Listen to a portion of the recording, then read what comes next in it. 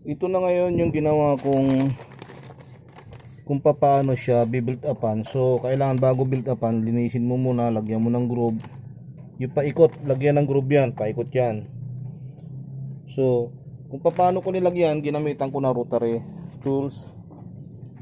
Yan tapos mayroon naman siyang pang extension na cable na pwedeng ilagay itong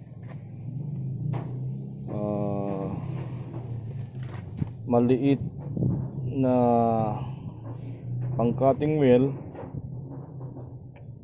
So yan ang ginamit ko dyan.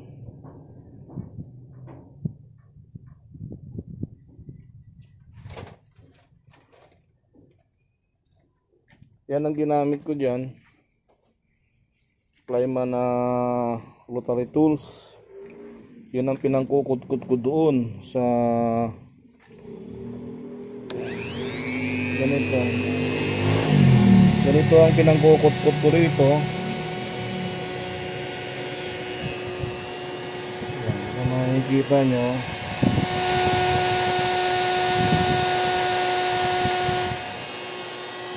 Yan ang pinangkukudkod ko rito. At mamaya lilinisin ko na rin yung mga marumi dyan. Using yung steel brush para maging malinis yung pagkakapitan ng imsel so ganyan ang ginawa dyan kung paano mag mag build up. Bago mag build up ah siyempre yung yung lalapatan ng bearing ito kasi na undersize to. Lagyan mo muna siya ng groove para pagka nag imsil ka kakapit yung imsil dyan hindi basta basta kakalas so kukuha muna ako ng panlinis tulad ng steel brush para mabrush ko muna siya at ang malinis. Tapos siyempre para kapit na kapit gagasolinahin mo yung buong paikot na yan bago mag imsil Siyempre gamit ang steel brush lilinisin mo muna tong buong area ng pag didikitan mo alisin mo talaga yung dumi.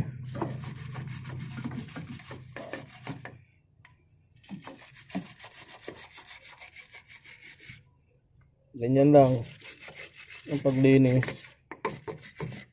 Tapos siyempre gagasolinahin mo siya para maging malinis na malinis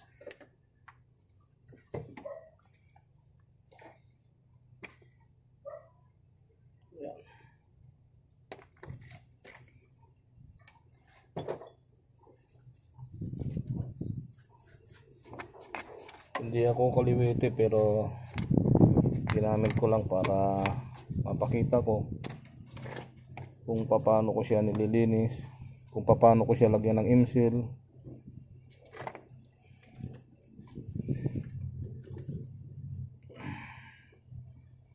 So ganyan. Bubugahan ko na lang siya ng compressed air para maging malinis. Ayun na nalinis na siya gagawa na lang ko mag iimsil na lang kami nito. Para makita yung pero bago yan lalagyan ko muna ng bago yan lalagyan ko muna siya ng wire dyan sa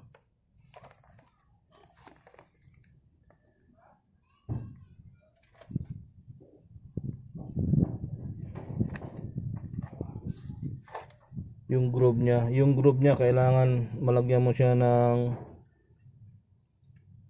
ng wire dyan. Yung alambre yung kasukat dyan. Para hindi siya malagyan ng pandikit. So kailangan kailangan hindi siya malagyan ng pandikit dyan. So gagawin ko muna.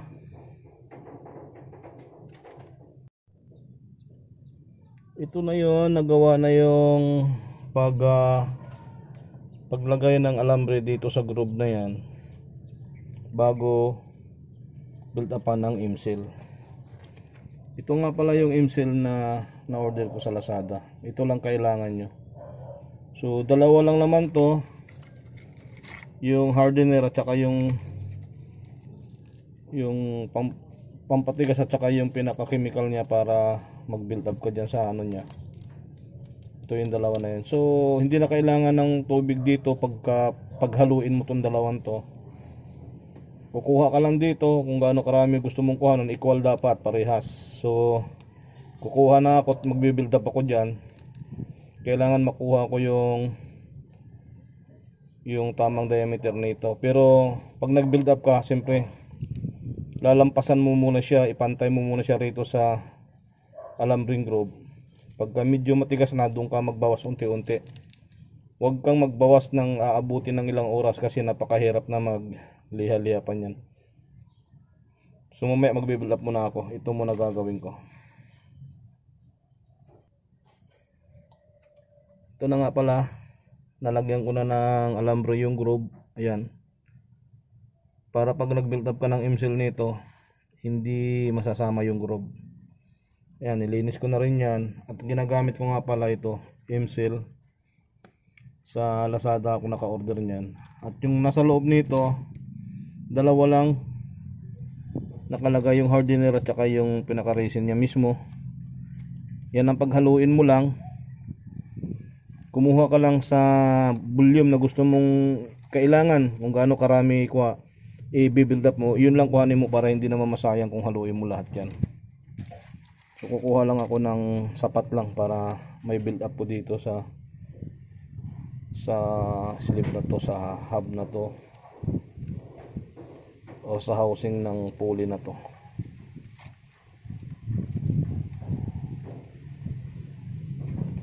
Okay. Pause muna. Ito nga, nalagyan ko na nga pala ng MSIL to. Yan, ganyan. So paglagay mo ng MSIL dyan, medyo sticky yan kasi para maiwas magdikit sa kamay mo, meron ka dapat tubig na pag dinampian mo siya para mag-flat o para kumapit doon sa groove, dampi-dampian mo siya. Paikot.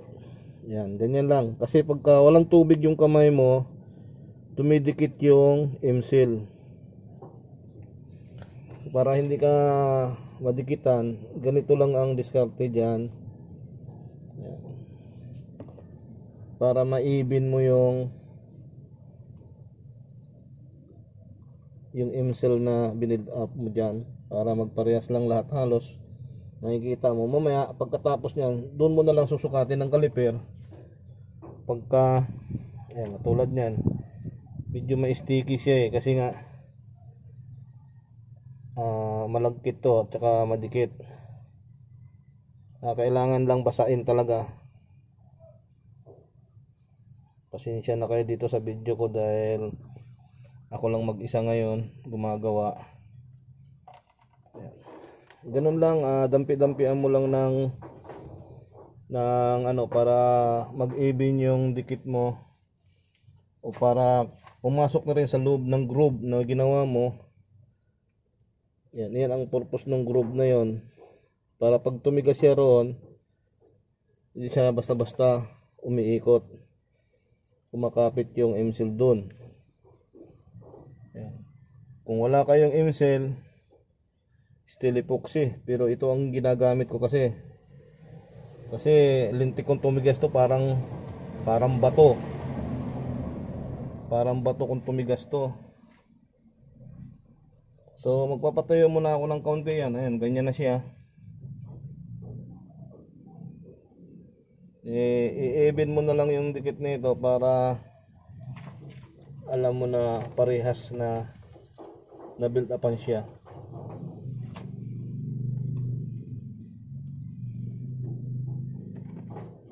pagka malapit na siyang tumigas siyempre kukuhanin mo na yung nilagay mong alambre na yan sa groove o kahit siguro mga isang oras isa't kalating oras pwede na.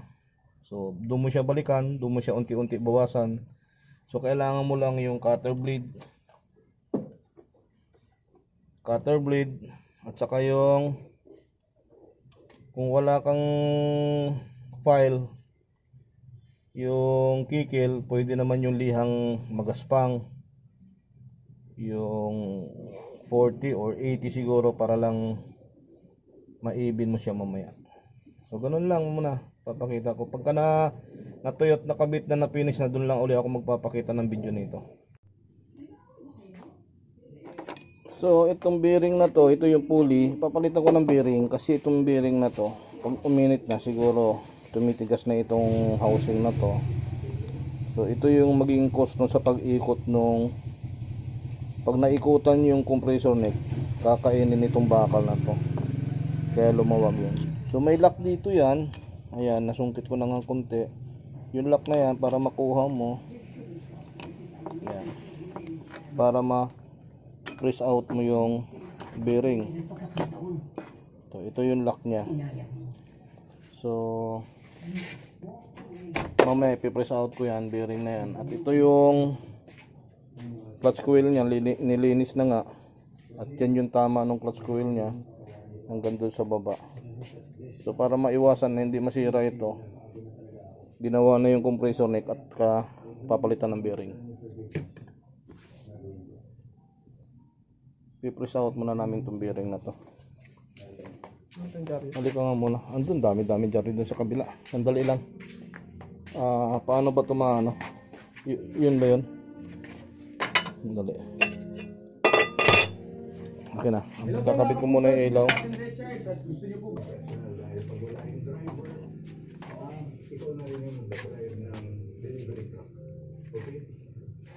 Pag wala rin naman yung kasama niya na magde-deliver, ah, ikaw na rin yung pahinante. In short, Mr. Gonzales, um, if I may call you Nicolay, Kasya pala. oh. okay po. All around na magiging trabaho mo dito. Okay? Good luck.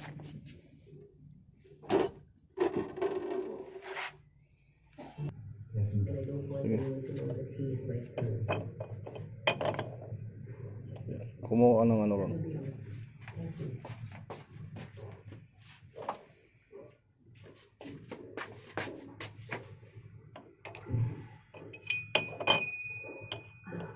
Malit ng counter ito kaya. Malit na counter. I hope you don't mind my asking na lang, pero sigurado po ba talaga sa posisyon na binigay na kay Nicolay? Anak mo Pwede na siguro. Janice, he asked for you. Ah, Pinigbigyan ko lang siya. yung ano yung mahabang ano, jack. Nagsimula sa mababa. That's why we value Sige. every centavo. At yun ang gusto ko matutunan. Kailangan i sandali ah.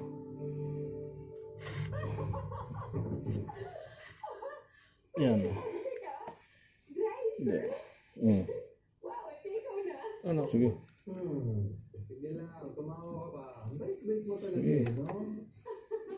Mm. Yung ano.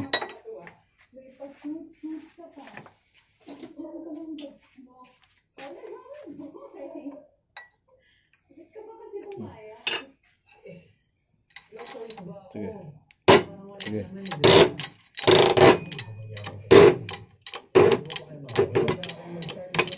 Okay. So yun ang bibilhin natin. Tanggal na yung bearing. Gamit yung pampres. At ito yung bearing na bibilhin ko. Ang alam ko sukat nito is 35B. Ah, patayan ako ng ilaw. Huwag dyan, may patayan dun eh. Ayun yung switch dyan oh.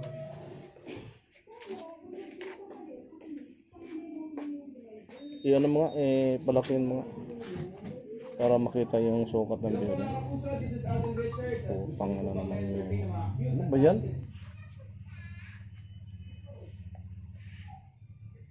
Thirty-five ano? Thirty-five B. Tama ba?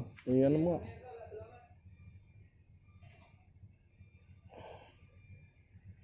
Thirty-five B. Ano? Tama. Bibiling ko muna itong bearing na to.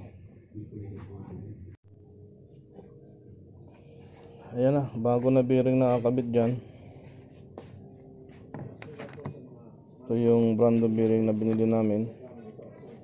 Archie.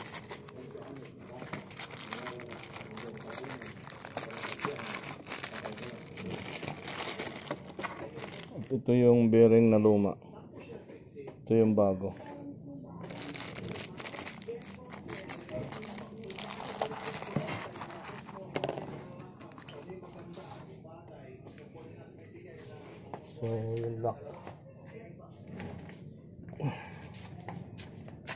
Kakabit ko na yung lock dito.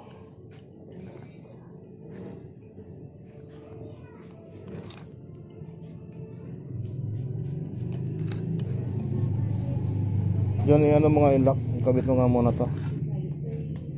Kuha ka ng dala ka ng ano.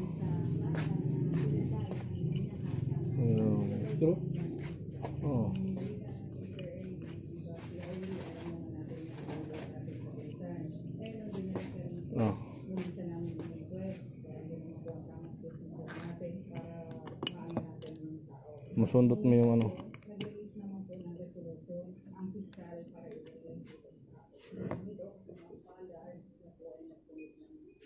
Ayun na, nakakabit na yung lock. So, ready na to para ikabit doon.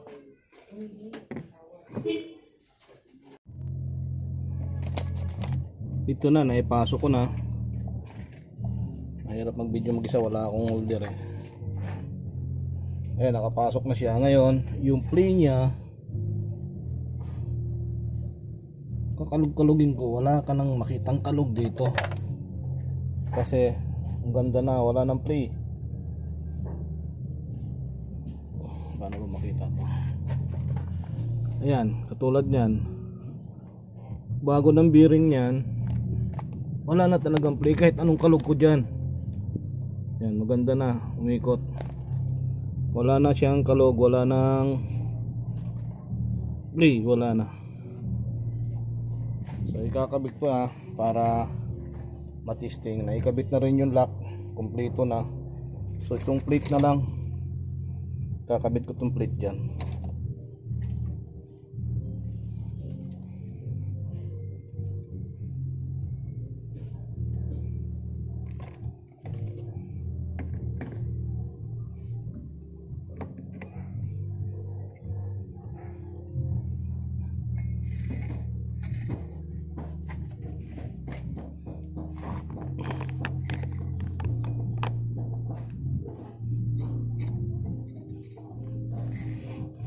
Ayan, kung makikita mo, kakalugin ko, doon sa clearance niya, wala na.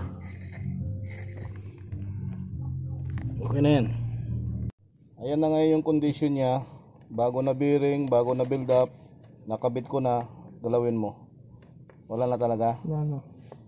So yan, okay na yan. Wala nang kapaliplay yan. Kakabit na lang namin yan. Paikutin mo nga ulit. Konting kalog. Wala na. Stable na stable na siya. Kailangan dapat ganyan para hindi masira yung clutch coil niya. Tsaka hindi siya sasayaw-sayaw dyan pagka yan inahigpitan na yung belt niyan. Diretso lang iikot niyan. Hindi ngayon mag high ampere yan kasi nga dahil sa hindi na tinatamaan yung coil niyan.